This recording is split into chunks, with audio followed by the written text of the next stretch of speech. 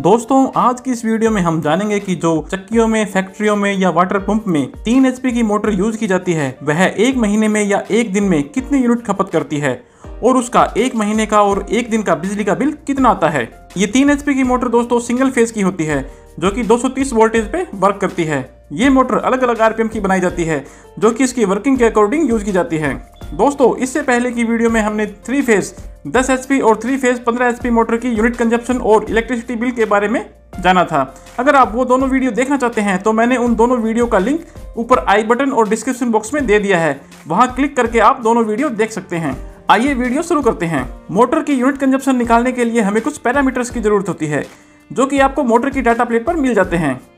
Unit consumption निकालने के लिए सबसे पहले हमें एचपी को के यानी कि किलोवाट में चेंज करना होगा। एचपी को के में हम इसलिए चेंज करते हैं क्योंकि यूनिट कंजप्शन निकालने का जो हमारा फॉर्मूला होता है, वह के होता है, यानी कि किलोवाट आवर इसलिए हमें सबसे पहले एच को किलोवाट में चेंज करना होगा। आइए हम इसे चेंज कर लेते हैं। दोस्तों, एक एच में 740 वाट होते हैं। हमें तीन एच में के पता करना है तो इसके लिए हमें तीन को 740 से गुना करना होगा, जिससे कि हमें पता लग जाएगा कि तीन एचपी में कितने किलोवाट होते हैं। जब हम तीन एचपी को सात सौ छियालीस से गुना करते हैं तो हमारी वैल्यू 2238 वाट आती है। दोस्तों, ये जो हमारी वैल्यू है, यह वाट में है और हमें हमारी वैल्यू किलोवाट में चाहिए।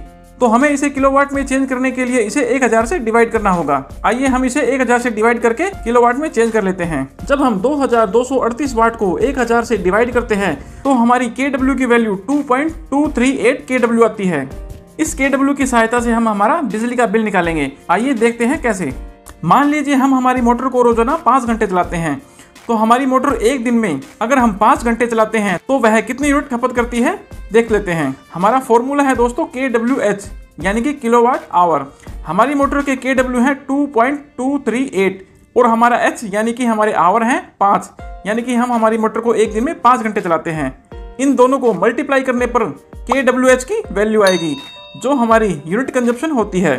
जब हम 2.238 kW को पाँच आवर से गुना करते हैं तो हमारी वैल्यू आती है 11.19 kWh यानी कि ये हमारी यूनिट कंजप्शन है पाँच घंटे की।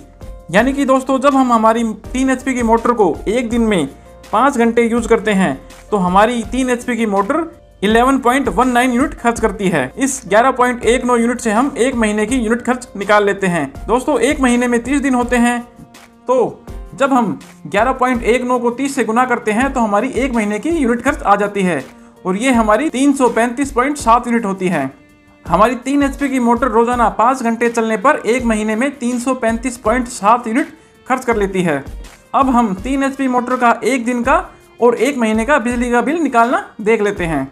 हमारी तीन एचपी की मोटर एक दिन में पाँच घंटे चलने पर 11.19 यूनिट खर्च करती है। सबसे पहले हम एक दिन का बिजली का बिल निकालेंगे। बिजली का बिल निकालने से पहले दोस्तों आपको पता कर लेना है कि आप जहाँ रहते हैं, वहाँ लघु उद्योग या घरेलू यूनिट का क्या चार्ज लग रहा है। और फिर उस चार्ज के अकॉर्डिंग आप अपने बिजली का बिल निकाल सकते हैं। क्योंकि हर स्टेट में यह चार्ज अलग अलग होता है। मैं दोस्तों इसे यहाँ आठ रुपये मान लेता हूँ। आठ रुपये के अकॉर्डिंग हम हमारा विद्युत खर्च निकाल लेते हैं। हमारी तीन एच की मोटर की एक दिन की यूनिट कंजप्शन है 11.19 यूनिट। जब हम इसे 8 से गुना करते हैं तो हमारा एक दिन का बिजली खर्च आता है। आइए हम 11.19 को 8 से गुना कर लेते हैं। दोस्तों, जब हम 11.19 यूनिट को आठ रुपए से गुना करते हैं तो हमारा बिजली का बिल नवासी रुपए बावन पैसे आता है। यानी कि दोस्तों, जब हम हमारी तीन एच की मोटर को एक दिन में पाँच घंटे चलाते हैं तो हमारा एक दिन का बिजली का बिल एट्टी नाइन रुपए फिफ्टी टू पैसे आता है। और हमारा एक महीने का बिजली का बिल कितना आएगा, वो भी जान लेते हैं।